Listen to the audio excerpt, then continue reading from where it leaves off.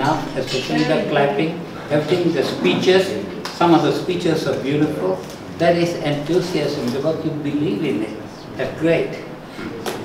But we started a little bit late, 7.21. It's okay. Sometimes we had, again, today it was a very bad weather out there. And essay, uh, Clayton, you did a good job, but you made a comment, no sex, religion and politics. I'm, it's, it's like a small uh, thing that bugs me all the while. I've given a lot of speeches about this, talks about this. In fact, even among Toastmasters, we had a debate, no sex and religion, and there were two teams among all the Toastmasters.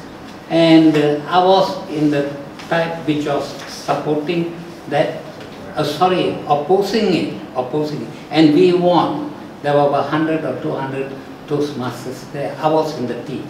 So people actually know. You, you can't put a blanket, uh, what do you call it?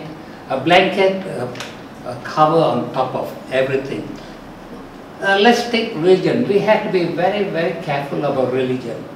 You can make your comments, you can do your observation. Let's say you went to Batu Caves and you saw it, and then you give a talk on what you saw. That is touching on religion. That is quite okay. I mean, you're, you're not condemning, you're not... So you can touch on religion, but be sensitive to the audience. You're not only here, even outside. Now let's take the next one, politics. Everybody in Malaysia, for the matter in the whole world, must be involved in politics. Or at least you must think about politics. How can you let, I'm sorry I'm going to say this, how can you let thieves run your country? Huh? So you just keep quiet. You just keep quiet and only you talk to your neighbor or to only to your best friend. Everybody must know this is what is happening in, in our country. We must do something about it. But of course, when you stand here and you touch on politics, again be sensitive. There are people who support and oppose. So you have to be sensitive how you say it. But here I made a very strong statement. I'm sure nobody is opposing me. Our country is run by thieves. It's a matter of opinion. It's a matter of opinion. But probably when you steal 3.2 billion, eh, that's too big amount to call you a stealer. There's another word for it. Okay, we drop that.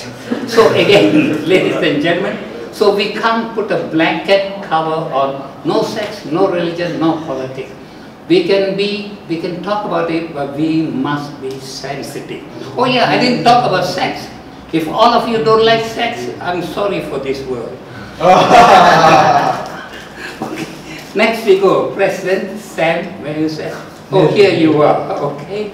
You, uh, you are very confident, but I thought you should try to learn to relax when you stand here. You must try to learn to relax, you know?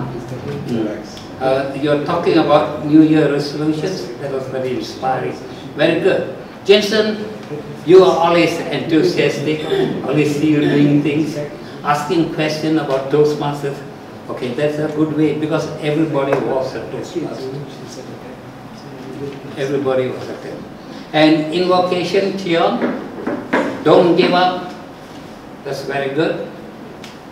We shouldn't give up whatever we do. Then we had humor. Cleo, I like your humor. And, and one of the things, ladies and gentlemen, you will be very surprised. Funny things that can happen to you in your, in your life, which you can tell. In fact, I always think of all the funny things my wife does to me. But somebody told me, enough of your jokes, you always talk about your wife. So I won't talk anything about it. So, anyway, Cleo, that was a bit, your humor was very beautiful.